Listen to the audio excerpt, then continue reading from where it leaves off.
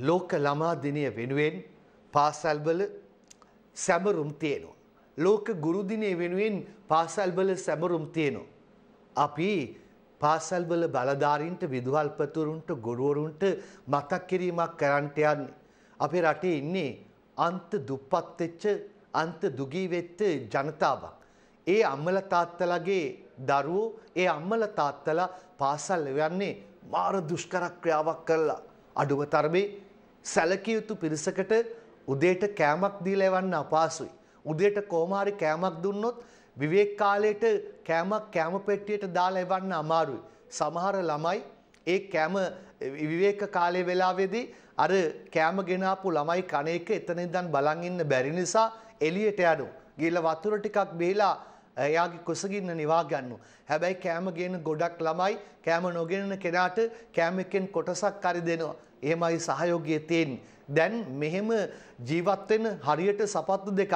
නිකමට බලන්න පාසල් යන දරුවන්ගේ සපත්තු කොයිතරම්නම් පරණ වෙලා අලුත් එකක් ගන්න බැරුව ඉන්නවද කියලා.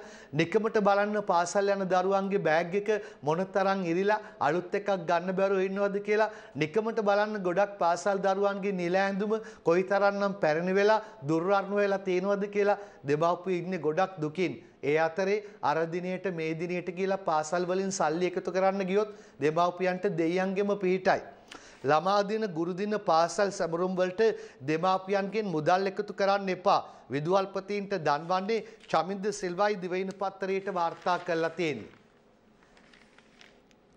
ලෝක ළමා දිනයේ ගුරු දිනයේ ඇතුළු විවිධ සැමරුම් උත්සව සඳහා මව්පියන්ගෙන් මුදල් එකතු නොකරන ලෙස අධ්‍යාපන අමාත්‍යංශ ලේකම් තිලකා ජයසුන්දර චක්‍රලේඛයක් නිකුත් කරමින් පාසල්වල විදුහල්පතිවරුන් දැනුවත් කළා. පාසල්වල සිදු කරන විවිධ සැමරුම් උත්සව සඳහා දෙමාපියන්ගෙන් මුදල් එකතු කිරීම නිසා මව්පියන් හා සෙසුන් පීඩාවට පත්වන අතර ගුරුවරුන් හා විදුහල්පතිවරුන්ද ඉන් පීඩාවට පත්වන බවට ලැබුණු පැමිණිලි සැලකිල්ලටගෙන මෙම චක්‍රලේඛය නිකුත් කිරීමට ලේකම්වරිය පියවර අරන් තිබෙනවා.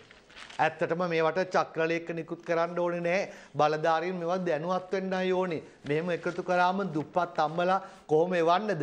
එතකොට ඊට පස්සේ ඒවා අර ළමයා ලැජ්ජ වෙයි කියලා බයට ණය වෙනවා. ඒවා අරගෙන කොහොම හරි දෙන්න. මේවා ගැන කවුරුත් කියන්න ඕනේ නැහැ. තේරෙන්න ඕනි බලධාරීන්ට.